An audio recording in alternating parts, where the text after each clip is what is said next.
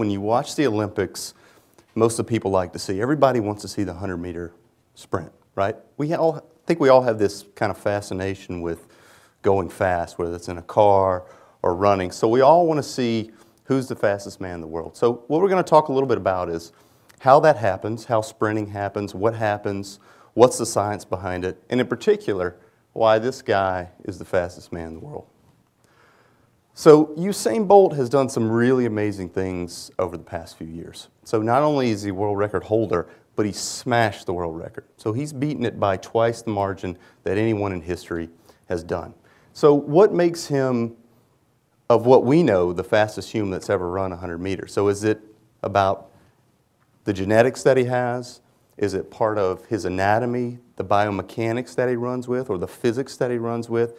Or has he just worked harder than anybody else in history to do this? And I think at the end we're going to see that all these things, it's going to be a combination of this. So really the essence of this is how do you run fast? And I know you guys would probably tell me a pretty simple answer to that, be if I want to walk faster, I move my legs faster. And so if you and I were to race and I move my legs faster than you, I'm going to win, right? Pretty simple. But actually, that really has nothing to do with sprinting. That has nothing to do with running fast. And if you watch the videos that, that Rob showed early and you watch the people sprint, they all move their legs at the same rate of speed. And this has been really pretty well studied. If you look at the picture on the bottom here, this is Beijing, the 2008 uh, uh, final heat, and this is where Usain Bolt broke the world record. And if you look, almost every one of these guys has their foot in the same position. So they're really in the same part of their stride. So what's really been uh, well studied is that whether you're a sprinter or whether you're an athlete or a non-athlete, when you're running at top speed, everybody relatively moves their legs at the same speed. And I see some of you guys looking at me and be like, so you're telling me that if I race Usain Bolt, or one of you guys, because you're probably better shape than me and a little bit better athlete than me at this point, if I race Usain Bolt, we're going to move our legs at the same distance. There's no way that could happen, but it does. Relatively speaking, everybody moves their legs the, with the same speed. And so we're going to get into why that is and talk a little bit more um, about that. But being fast or running fast and have a lot of speed really depends on two things. So one, it's the amount of force that you can generate. So it's the amount of force your muscles can generate against the ground. If you think of your legs like a spring, as hard as you can push that against the ground, the further and faster it's going to propel you forward. So force is a really, really big thing. And the second thing is really how quickly you can make that force happen. So when we run, we generate this force against the ground. And so you and I, when we do that, we generate about five or 600 pounds of pressure. Now, somebody like Usain Bolt, an Olympic sprinter, will generate upwards of 1,000 pounds of pressure. And there's a really interesting anatomical reason why. And there's been some good studies done uh, where they MRI sprinters. And so these are people that they sprint, that's their job, that's what they do, they're high-level sprinter. And if you look, they typically have a shorter Achilles tendon, so right here, so that's attached to the calf muscle, and longer bones in the foot. Now, if you think about physics, and I know I said don't fall asleep, I said physics, and I'm only going to talk about it for a second, so bear with me. So if you see the guy up here on the right, if you're going to move a really heavy object, you need two things. You need a fulcrum, which is the little thing in the middle, and you need a lever.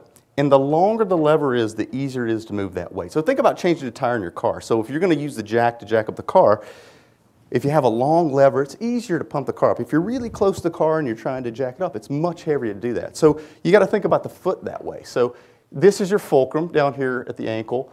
Your lever is going to be your Achilles tendon, and the force is going to be the force out in front that you're trying to propel your body forward with. And so if you're paying attention, you'd say, well, that, makes, that doesn't make any sense. So you're telling me the guys with a shorter tendon which would make it harder to propel your body forward or actually faster. But that's actually the precise reason why they're so fast. They can generate, they're, they're, to overcome that short tendon, their muscle has to generate much, much more force against the ground. So in general, smaller people tend to generate more force in relation to their body weight. If you think about some of the Olympic gymnasts, they're all pretty small. So you see some four foot tall women and maybe in that low five foot range. But if you see them kind of explode and do a triple backflip, there's tons of force that comes out of that. So think about somebody like Shaquille O'Neal or Yao Ming trying to do a backflip. I mean, it's like you think it's almost impossible to do that. And that's very much the same thing for sprinters. Sprinters have traditionally been very small and very compact, and they have a lot of force. Now, this is where the real difference comes with Usain Bolt. He is huge. He's big for a sprinter. He's six foot five inches tall. And look, if you look across the picture, he's head and shoulders above the rest of the sprinters, right? He's a big guy. So what he also has, he's not only tall, but he's got a huge stride length when he, when he strides out. And so in 2009 in Berlin, when he broke the world record, he broke his own record then, um, and that's the record that still stands. He did it in 40 strides. And so if you look back in the world record performances kind of throughout time and the elite sprinters, they do it in 43 or 44 strides. So he's really getting there obviously much quicker, but he's doing it taking less steps. And he's massive. You know, we're going to go back to physics. Hold on. He's massive. So when you get an object in motion that's big, it's hard to slow it down. You think about slowing down a dump truck versus one of these little smart cars you see riding around. It's much harder to slow down that dump truck. And that's why, if you look at the bottom, when he broke the world record in Beijing, he, the last 20 meters he celebrated. He had his hands up, he was looking around, and he still crushed the world record. So, you know, he's, he really is this kind of uncanny combination of size and speed and acceleration.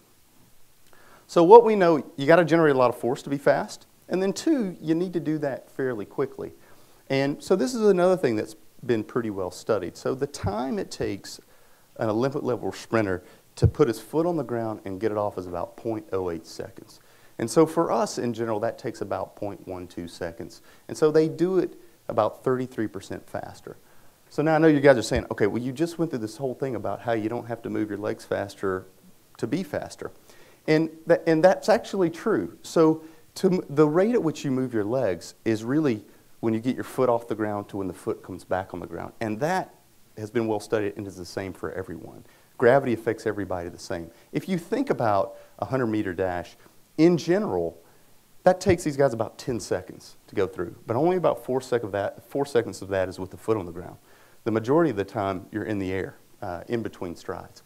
So everybody's affected by gravity the same way. So that's why the, the rate of moving your legs is, is really the same. What they're able to do is when the foot contacts the ground, they're able to generate that force much, much faster than we're able to do. So really, what limits you is how fast the muscle can contract to generate the force. What's pretty amazing is there's somewhere between 600 and 800 muscles in the body, and it depends on how you break them up and how you name them and what you call them. And the interplay of about 90 to 100 of those muscles is really the main force when you, when you sprint or run. And it's, it's pretty amazing what happens. You know, when you go through a stride, you have to bring the leg up, the hip flexor contracts, the hamstring contracts, the quad relaxes, the foot comes down. So now the quad has to work, the hip flexor relaxes, and as you come over, your glutes work, your hamstrings fire, and as you push off, your calf muscle propels you forward. Now, how do you do all that? You get signals from your brain that tells the muscle, okay, I have to work, now you have to work, and you have to relax. And what's amazing is all that happens in less than a tenth of a second. So it's a pretty amazing thing to think about. So, in our bodies in general, there's muscle are just groups of fibers. They're all grouped together. And they kind of sit intertwined like this. And what happens as the muscle contracts, they pull together. And some muscles can do that very quickly and some can't. And the ones that can do that quickly are called fast twitch muscle fibers. So they can contract very, very quickly. They don't need a lot of blood. They don't need a lot of oxygen. And then you have slow twitch muscle fibers, which are muscles that contract and they hold. They need blood flow. They need oxygen to work. Um, and you guys have all seen this before. So when you go out and have chicken and somebody says you want light meat or dark meat, that's fast twitch and slow twitch muscle fibers. So the light meat is, it's light because there's not a lot of blood flow in it. There's not a lot of oxygen. It typically comes in the breast and the wing. The dark meat typically comes from the legs and the thighs. It's where they have to have a lot of blood flow, a lot of oxygen to, and it's dark because that blood flows in there and it has to contract over a long period of time. So I hope I didn't ruin chicken for anybody, but I want to make sure that you know you've seen this before. Um, and so what you see is that genetically, sprinters tend to have a little bit more fast twitch muscle fibers to do this. So, with all we know and all we learned, is there a limit to how fast a human can go? And so when Usain Bolt broke the record uh, in Berlin in 2009, he was going about 30 miles an hour, so 28 miles an hour uh, to be more exact. And what we know from studies is that we can actually generate more force than, than you see running. If you actually hop on one leg, that generates more force than running or sprinting. So we're really not limited by the amount of force we can generate because we can actually do more. It's the time that it takes the muscle to contract is really what limits speed. So there have been a couple of scientists out there that uh, have tried to predict and say, if, well, if we look at muscle in general, and if in, on an, in an ideal world, if the muscle could contract fast enough and produce the maximum amount of force, we would predict that a human may be able to run 35 or 40 miles an hour. Now, they're guessing on this. And then you've got some people in statistics that look at the numbers and say, well, maybe, you know, the world record right now is at 9.58 seconds. And maybe the fastest that we can get that, if we look at all the parameters out there, is 9.44, somewhere in the 9.4 range. If you look over the last 40 years, the world record's been beaten by a margin of about 0.37 seconds. So that's about 0.01 seconds per year. So if you take all that data and you look at it, and if you think they're right, that would mean in the next 20 years we should see the fastest that a human's ever going to run. So we should be at the pinnacle of sprinting at that point. So that's only a guess. So I don't know what's going to happen. Um, I don't know what, how fast they're going to run in 2012, uh, but it's going to be fun to watch. And hopefully you look at it in a little bit different way. Thanks.